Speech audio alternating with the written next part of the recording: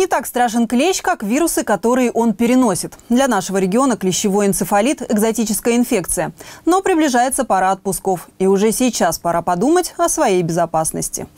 По регистрации клещевого энцефалита Мурманская область абсолютно благополучный регион, что регулярно подтверждают специалисты. Клещевого энцефалита здесь нет.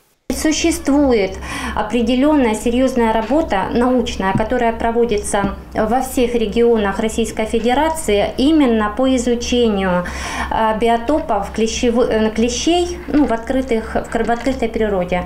И ежегодно актуализируются э, именно списки эндемичных территорий, где регистрируется ежегодно клещевой энцефалит. Именно местный, именно от своих клещей у нас такая ситуация не регистрируется. В 17-18 годах были случаи, когда северяне, вернувшись из отпуска, обнаруживали присосавшихся клещей. Факты снятия членистоногих кровопийц зафиксированы в поликлиниках района.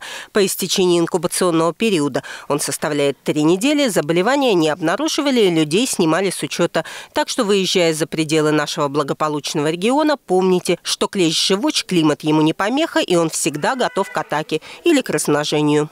Единственное, что у него варьирует жизненный цикл. На севере от э, личинки до взрослой особи проходит 4 года, а на юге год.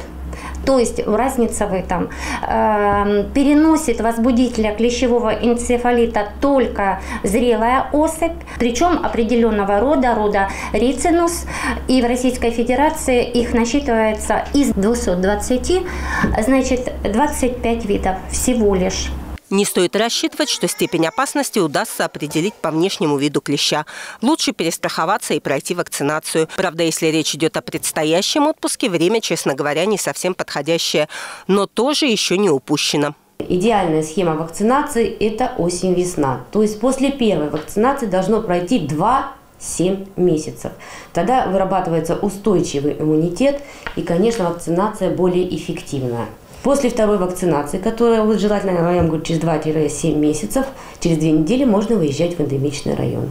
У нас население в основном вакцинируется по экстренной схеме. Экстренная схема – это идет первая вакцинация через две недели, вторая вакцинация, и через две недели они выезжают в эндемичные районы. На этом процедура обезопасивания себя от энцефалита не заканчивается. Через год после второй вакцинации надо сделать ревакцинацию и далее повторять одну инъекцию раз в три года.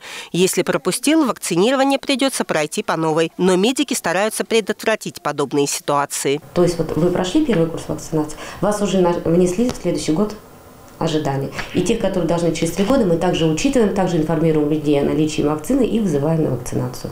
Ту, которую мы закупили сейчас, 620 рублей одна инъекция.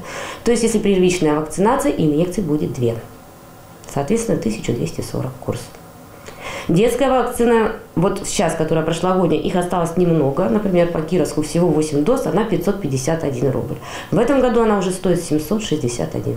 Детям такие прививки делают с года. Запас вакцины пополняется регулярно и даже с учетом тех, кто решил пройти вакцинацию вдруг, а не заблаговременно. Хотя второй вариант предпочтительнее, надежнее и позволяет планировать закупки. Алгоритм действий – просто регистратура поликлиники, доврачебный осмотр, договор, оплата вакцины и добро пожаловать в прививочный кабинет.